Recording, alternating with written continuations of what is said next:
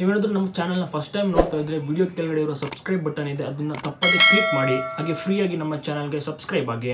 ಇತ್ತೀಚೆಗಷ್ಟೇ ಒಂದು ಕಾರ್ಯಕ್ರಮದಲ್ಲಿ ನಟ ಜಗ್ಗೇಶ್ ಅವರು ಮಾತನಾಡಿ ಭಾವುಕರಾಗಿದ್ದರು ಇನ್ನೂರೈವತ್ತಕ್ಕೂ ಹೆಚ್ಚು ಸಿನಿಮಾಗಳಲ್ಲಿ ನಟಿಸಿರುವ ಒಬ್ಬ ಕಲಾವಿದನಿಗೆ ಇಂದಿನ ಬದುಕು ಕಟ್ಟಿಕೊಳ್ಳಲು ಸಾಧ್ಯವಾಗುತ್ತಿಲ್ಲ. ಆದ್ರೆ ಜಗ್ಗೇಶ್ ಅವರು ಆ ಕಲಾವಿದನನ್ನು ಇಂದು ಭೇಟಿ ಮಾಡಿದ್ದಾರೆ. ಹೌದು ನಟ ಜಗ್ಗೇಶ್ ಅವರು ಕೂಡ ಆಸ್ಪತ್ರೆಗೆ ತೆರಳಿದ್ದಾರೆ. ಅವರು ಬೇರೆ ಯಾರು ಅಲ್ಲ, ಕನ್ನಡ ಚಿತ್ರರಂಗದ ಪೋಷಕ ನಟ ಕಿಲ್ಲರ್ ವೆಂಕಟೇಶ್ ಅವರು.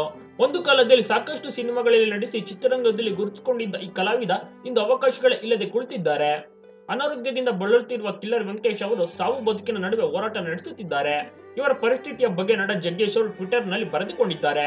ಹಾಗೆ ಇವರ ಸ್ಥಿತಿ ಕಂಡು ನಿಜಕ್ಕೂ ಬೇಸರವಾಗಿದ್ದರೆ ಕಣ್ಣೀರಿಟ್ಟಿದ್ದಾರೆ ಜಗ್ಗೇಶ್ ಅವರು ಅಂತಾನೆ ಹೇಳ್ಬೋದು. ನಟ ಕಿಲ್ಲರ್ ವೆಂಕಟೇಶ್ ಅವರು ಲಿವರ್ ಸಮಸ್ಯೆಯಿಂದ ಬಳಲುತ್ತಿದ್ದಾರೆ. ಸದ್ಯ ಅವರು ಆಸ್ಪತ್ರೆಯಲ್ಲಿ ಚಿಕಿತ್ಸೆ ಪಡೆಯುತ್ತಿದ್ದಾರೆ.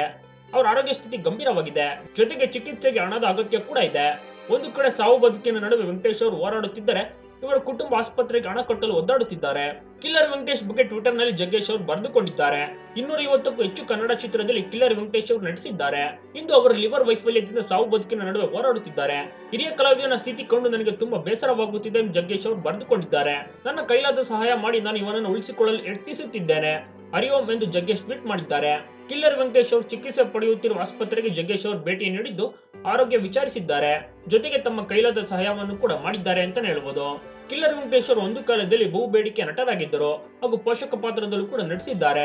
ಇನ್ನೂರ ಐವತ್ತಕ್ಕೂ ಹೆಚ್ಚು ಸಿನಿಮಾಗಳಲ್ಲಿ ಅವರು ಕಾಣಿಸಿಕೊಂಡಿದ್ದಾರೆ. ರಣಧೀರ ಸಿನಿಮಾದಲ್ಲಿ ಜಗ್ಗೇಶ್ ಹಾಗೂ ಕಿಲ್ಲರ್ ವೆಂಕಟೇಶ್ ಜೊತೆಗೆ ನಟಿಸಿದ್ದರು.